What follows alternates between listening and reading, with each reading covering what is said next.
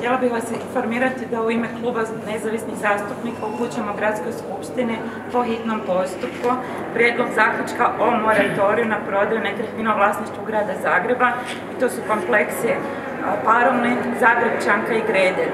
Naime, radi se o imovini procijenjena na milijardu kuna i u proračunu smo zapravo tek bili zatečeni informacijom da se namjerava imovina prodavati u 2021. godini kako bi se namaknuli dodatni prihodi za pokrivanje uvećanih rashoda u 2021. godini.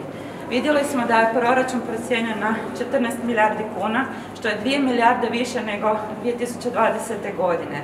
Istovremeno znamo da je zbog starih dugova i sa povećanjem dodatnih dugova zapravo financijska situacija dodatno ugrožena i zato sa ovim prijedlogom moratorija želimo spriječiti s jedne strane povećanje, povećanje duga zato što prije svega tu imovinu je jako teško prodati u jednoj godini. Radi se o imovini koja je komplicirana i već više od 20 godina se zapravo sa njom ništa ne događa. Imamo isto tako informaciju kako je u proteklih pet godina pa, cijena nekretnina rasla gotovo 40%, da je procijenjena vrijednost daleko podcijenjena. Znači da bi grad Zagreb ovom prodajom imao više od 230 milijuna kuna gubitka.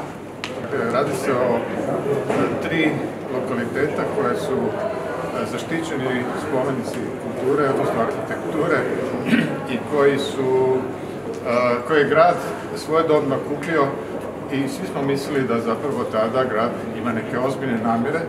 Međutim, sasvim je izvjesno da je gradonačelnik odlučio podmiriti troškove e, svog gubitka u protekloj godini ili proteklim godinama E, proračunskog gubitka upravo sa namjerom prodaje ovih nekretnina. Ovo je samo naš prvi korak da se spriječi prodaja vrijedne gradske imovine.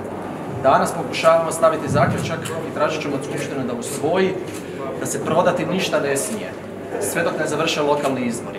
Ne smijemo ovom imovinom pokrivati rupe koje je stvorio gradonačelnik Bandić neodgovornim upravljanjem Zagrebom i ne smijemo taj prostor koji je zapravo zalog za budućnost i razvoj grada Zagreba sada prodati u bescijenje samo da bi se pokrile dakle, proračunske rupe i da bi se pokralo, pokralo to što gradonačelnik 20 godina nije imao viziju što učiniti zapravo s tim prostorom